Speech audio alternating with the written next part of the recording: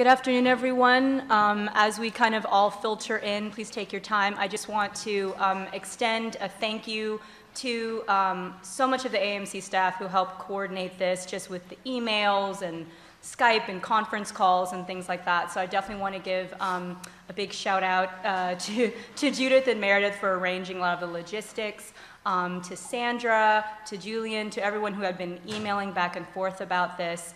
Um, I would also like to give a, a kind of shout out to uh, Katrina Hill, who was actually the originator of um, this particular panel, and I've just been, and Sally Block also, who invited me to kind of help moderate this discussion this afternoon, which I hope will be a very fruitful and interesting dialogue on some topics that were touched upon um, in Mariët Westermann's talk earlier, but also I think really speaks to some of the ideas and issues that are kind of happening in the curatorial profession.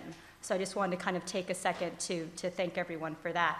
Um, and I'm just going to uh, just kind of let you know how the panel is going to work. I'm going to just kind of briefly introduce our panelists, and then um, they're going to speak for about 10 minutes each, and then I'm going to speak as well, and then we're going to start a dialogue about this issue of uh, diversity within the curatorial field. And the way in which Sally and I had really kind of talked about this is that we didn't want this panel to be where we kind of just sit here and kind of talk and then we have questions at the end. Once we kind of get the dialogue going, we really want this to be a dialogue and really have a conversation between us as you and the audience and kind of the AMC community, um, AAMC community as a whole, to really make this about some takeaways that um, for those of you who are interested in kind of implementing some very simple um, ideas and, and initiatives um, to kind of increase diversity in its myriad different forms, to things that are very programmatic. So I think hopefully we'll have a really fruitful discussion this afternoon. So with that, let me introduce first uh, Joan Weinstein, who is the deputy uh, director of the Getty Foundation in Los Angeles um, and the co-director of the Getty's 2011 multi-site exhibition that I'm sure all of you know Pacific Standard Time. Uh, she received her PhD from UCLA and has written widely on 20th century German art.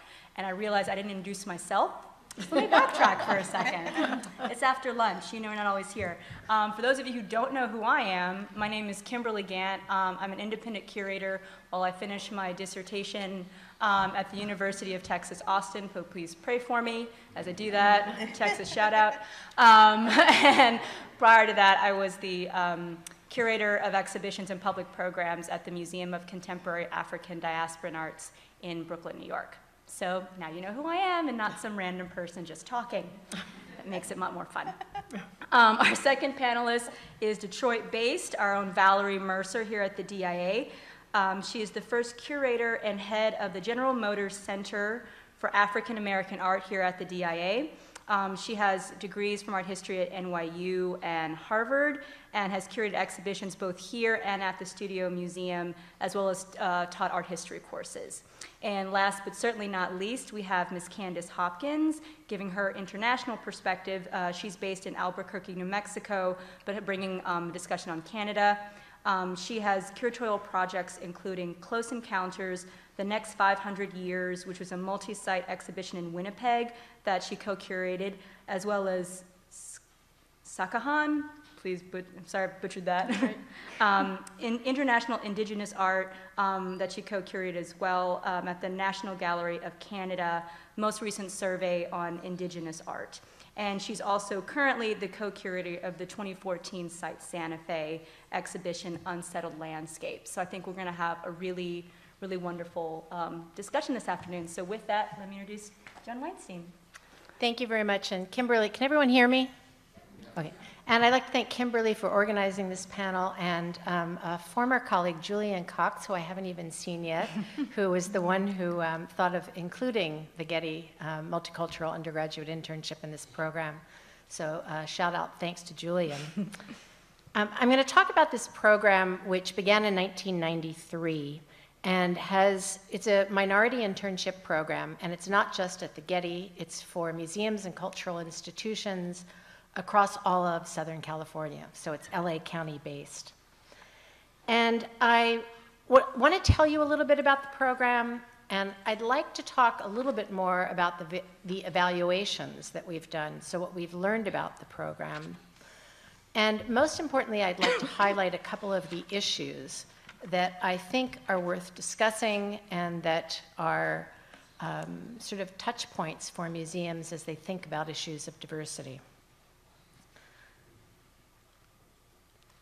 So this is probably a little hard for you, those of you in the back to see, but the photograph on the bottom right is a reminder of why we started this program.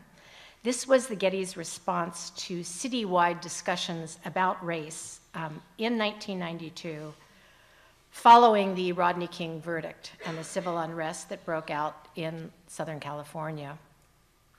And it was thinking about what museums could do to increase diversity in their ranks.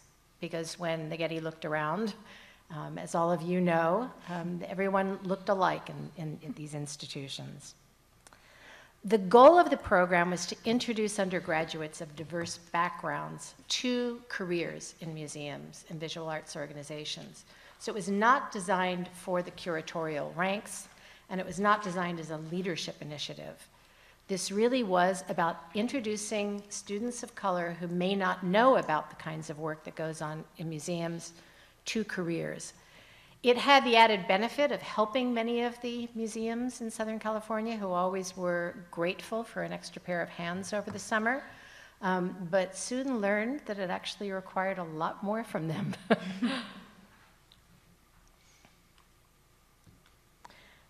So one of the keys that these were paid internships. So this was 10-week paid internship for students. And we used the criteria of the University of California at the time. So if you were members of what were called underrepresented groups, um, African American, Asian American, Latino Hispanic, um, Native American, or Pacific Islanders descent, you could qualify for an internship in this program. Many of you know that the University of California has changed its, um, no longer has affirmative action. Um, we've maintained these categories. And it raises two issues that I want to point out to begin with.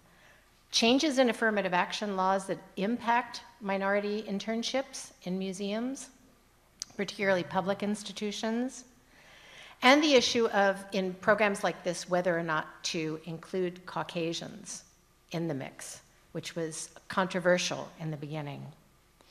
And the other one I want to point out is this was a program um, directed at undergraduate students, and it raises the question of where in the pipeline do you intervene? Do you need to start in high school, undergraduate? Do you need to follow through in graduate school? Is it professional development for people later in their careers? So each summer we have about 120 interns, and so far we've had more than 2,900 interns at more than 150 organizations throughout Southern California. In 2000, the LA County Arts Commission joined the Getty and created a sister program for the literary and performing arts. So there are about 250 interns every summer paid working in the arts in Southern California. So what I'm already going to do here is um, I'm going to anticipate some of the results of the evaluations we've done, but to point to what actually were the key ingredients for successful internships. The first was a really dedicated supervisor. We learned that the key relationship for the interns was the supervisor that they worked with in the museum. These supervisors often went above and beyond. They did reading groups where they included the interns for them to learn about issues in museums. They went to visit neighboring institutions where they could tour conservation laboratories um, or watch art, art educators at work. Also, that the, in, the interns had a defined project, so they were not there to make coffee, to do the filing, to answer the telephones. In the application process, they had to have a defined project that they could carry out and have some ownership and show, show results at the end of those 10 weeks. We also did a lot of programming for these interns, trying to create a cohort, a network to connect them to one another. We had outside mentors that came in and worked with them. And a lot of it was having mentors that looked like them, who were also people of color, in where they, in, in situations in which they could have a safe place to have conversations about what it meant oftentimes to be the only person of color in an institution that they were working in. And this brings up another one of the issues that I think it's worth paying attention to, and that is the sensitivity of the institutions and the assumptions that are made by institutions when they have people of color working there.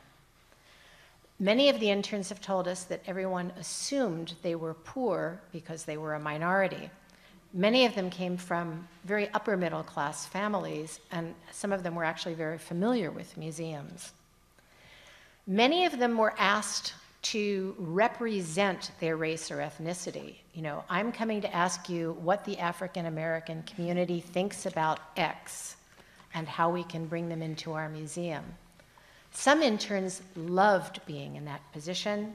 Others were incredibly resentful and said, I want to be treated like everyone else in this institution and not singled out for my race or ethnicity. So it's having those conversations within the institution um, to be able to understand where the interns or where people working in the museums may be coming from. We also did something we called the Arts Summit. We did do, it's, it's really a large career day where we bring all the interns together and they get to speak with curators, conservators, exhibition designers, art educators, um, preparators, uh, you name it, so that they can actually see all the different career paths within museums. So I'll talk a little bit about the evaluations and what we learned. This may be hard to see from where you are, but it shows the basic demographics. About 75% of the interns, um, and this, this goes to the first um, very large outside evaluation we did in 2008. Uh, three fourths of the interns were women and one fourth men. Uh, about 41% were Asian American, 39% Latino, 13% African American, and declining representation from there. Go ahead one little bit here. In the 2008 um, survey, and wow, those numbers really don't show up, what we learned was that 32% of the interns were working in museums and visual arts organizations. And it was a much higher percentage than we had ever expected because um, students did not have to have a background in the arts to participate in the program. 81% of them attributed their decision to work in a museum to their internship. And I think there were wonderful byproducts. 81% of them visited museums on a regular basis as a result of the internship. Uh, many of them donated to museums, volunteered at museums, so wonderful results, even if they didn't wind up working in the museum field.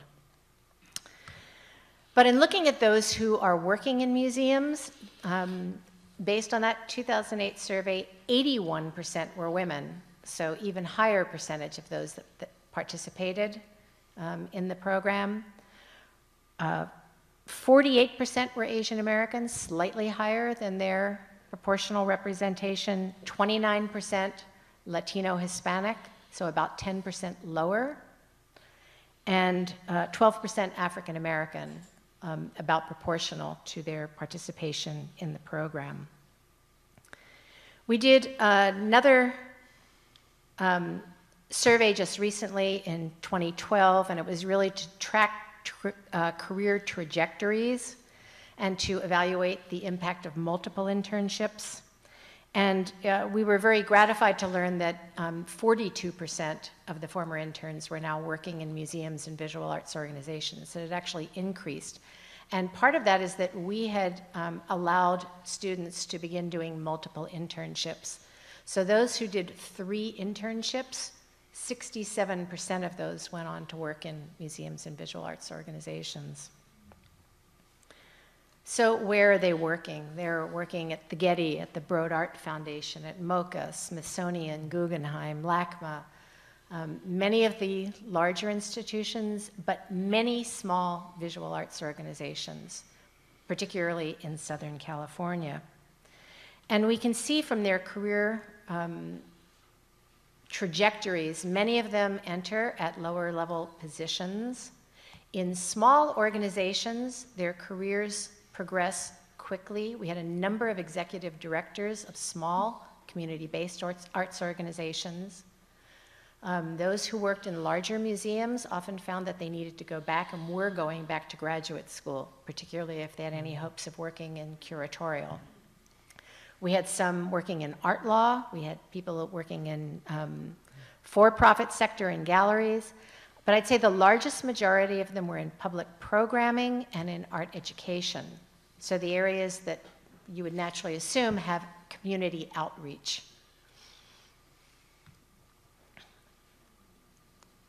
Um, I'm just going to end on a very, very brief note, and that is that we have been following up because it's clear that there's a great desire among this cohort for professional development. We've been providing support for former interns to attend annual meetings of AAM and also the California Association of Museums, both of which have very strong diversity groups at their annual meetings and have folded the interns into these programs. We also recently did something called Leadership in Arts Management, where we did a one year program for former interns who were, um, had the potential for leadership within their museums or arts organizations. And um, one of those has already gone on from being a curator at the Seattle Art Museum and is now a deputy director of a museum in Shanghai, and others are also progressing on the career ladder. So I want to leave you with this that this is a, you know, I think this is one avenue in diversifying staff through internship programs, but it is by no means a silver bullet.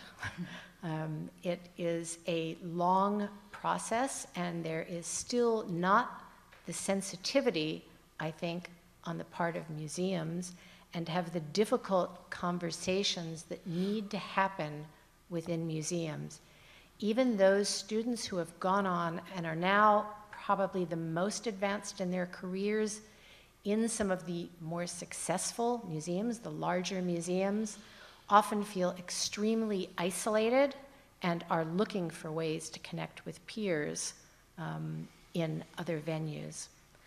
One final thing that I'll leave you with I think the institutions that have done the best job working with the interns and creating that next generation that can go and work in the larger museums are the mid sized museums and the college and university museums. In large museums, the interns tend to get siloed and do not get a sense of how the larger museums work. So I think this is a challenge for um, large, particularly encyclopedic museums. Thank you.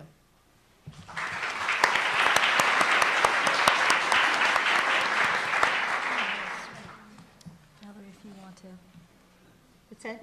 oh, here you have the. Oh, yes. Move forward. Sure. So, hello, everyone. I'm Valerie Mercer. I'm the curator and uh, department head for the General Motors Center for African American Art here at the Detroit Institute of Arts. And uh, since this is my home here, so to speak, uh, and my home away from home, the that's the institution itself. Uh, welcome, and uh, thanks so much for being here in Detroit. It means a lot to us. I, what, what I want to do is tell you about my position here because it is uh, still um, an unusual uh, one in museums today, um, but it does have a lot to do with, I think, some uh, real thoughtfulness about um, Detroit and what the museum um, hope to achieve under our uh, current director. So I'll just begin by explaining that I came here in September uh, 2001. That was um, actually a week after uh, 9 11. Uh, I came from New York. Um, I arrived at the DIA to assume my new role.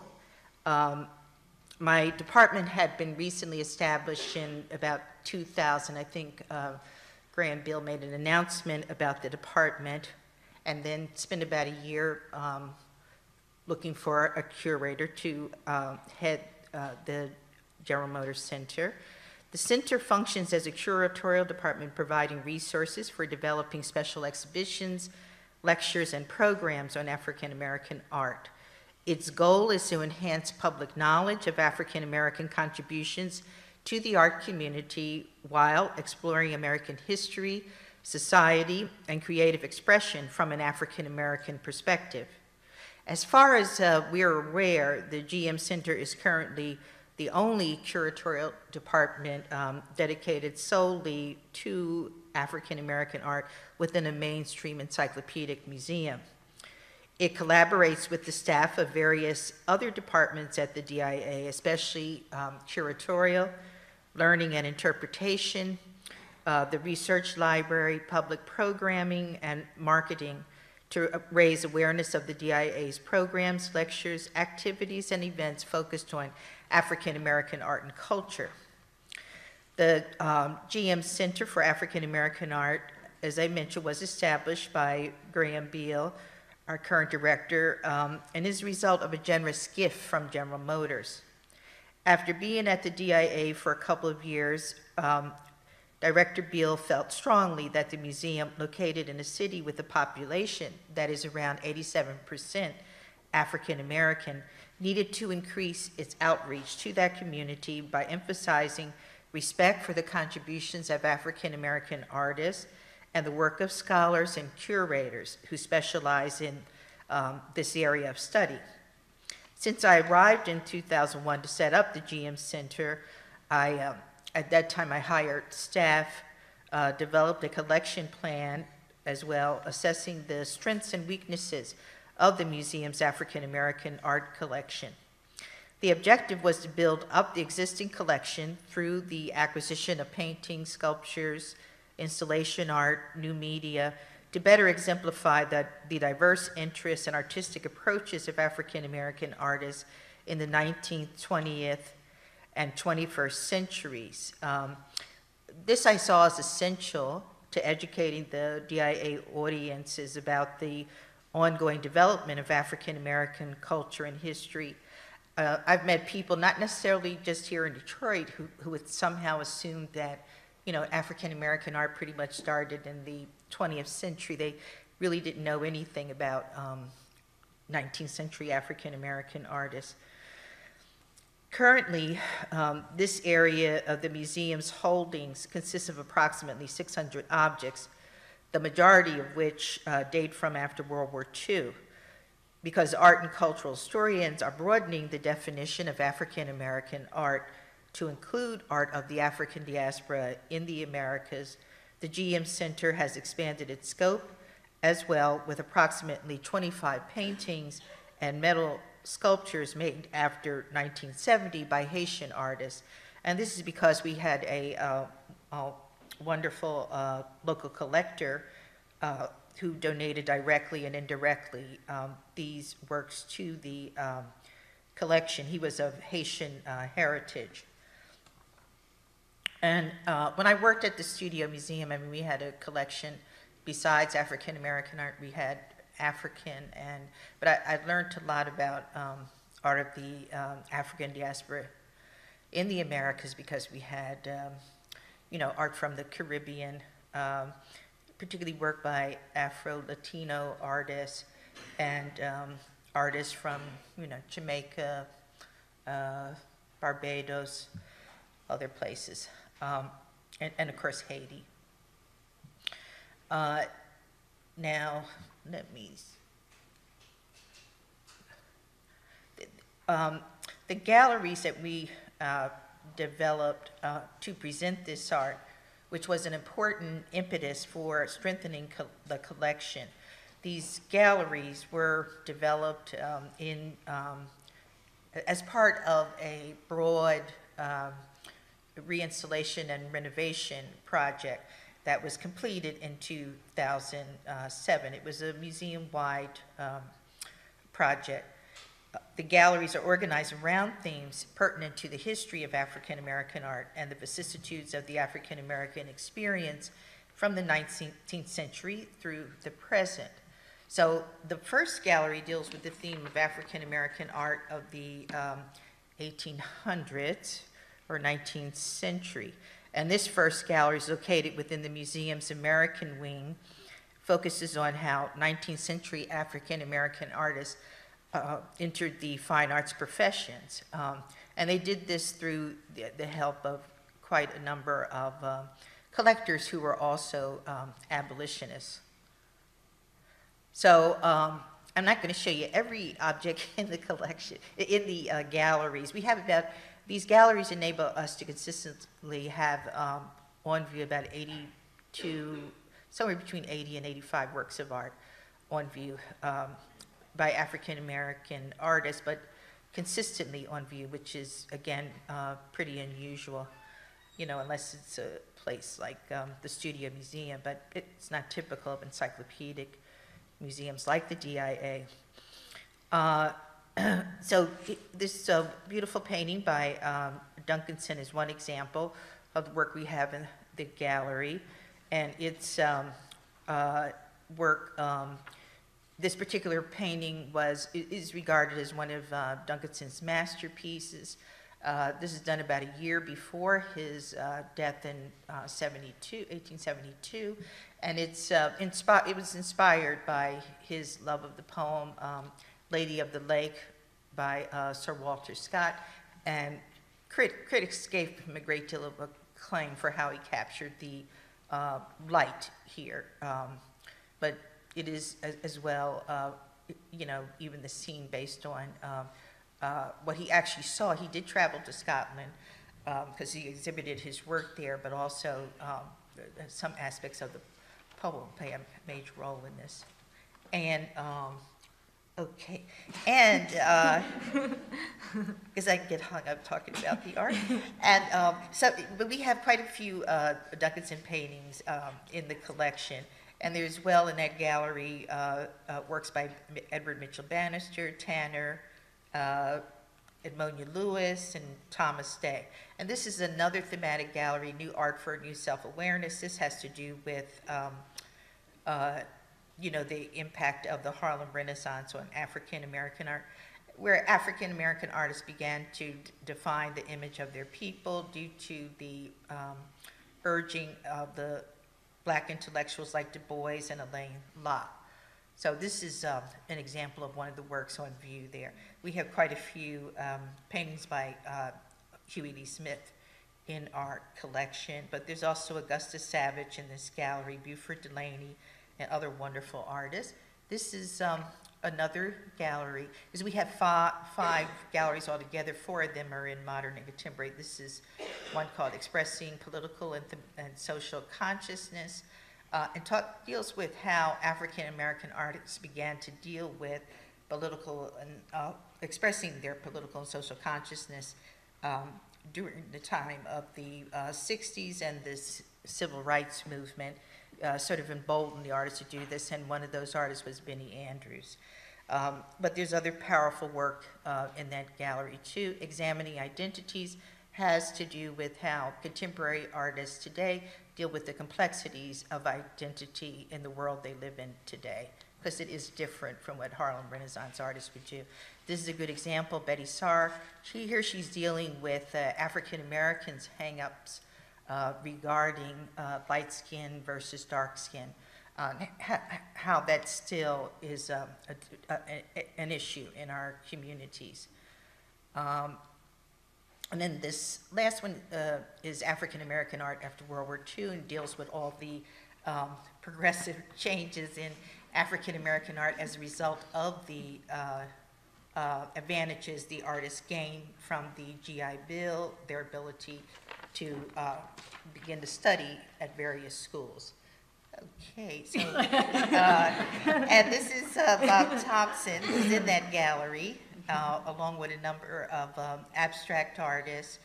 Uh, And I'm go- just going to show you a couple of really, um, I think, impressive, uh, you know, paintings uh, and a sculpture. We have one by Kehinde Wiley. That is in the contemporary art galleries. What I do is collaborate with our contemporary art curator to put in um, certain works within uh, the other galleries so that they are presented in a more global context. So that's the case with Kehinde Wiley's piece and with this uh, wonderful piece by Fred Wilson, which is a, a recent acquisition. Um, gaps in the collection needed to be filled out to flush out secondary themes in each gallery. And as a curator, I was able to accomplish this by focusing on opportunities to acquire art, you know, at galleries as well as auctions. And local co- collectors were also generous in loaning me uh, works of art uh, for the galleries. Um, I do rotations, it just, okay. Okay. just right. I, I, I- I do rotations uh, uh, of about 15 works on paper in the, um, in each of my galleries. I do that about every three months, but I work with, again, collaborate with the um, curator of prints, drawings, and photographs. Uh, um, Ultimately, the African American art galleries make it possible for this city's majority community to see itself reflected in the art on view in the DIA, a world-famous institution, and thereby assist the museum in realizing its mission statement, which is the DIA creates experiences to help each visitor find personal meaning in art. Thank you very much.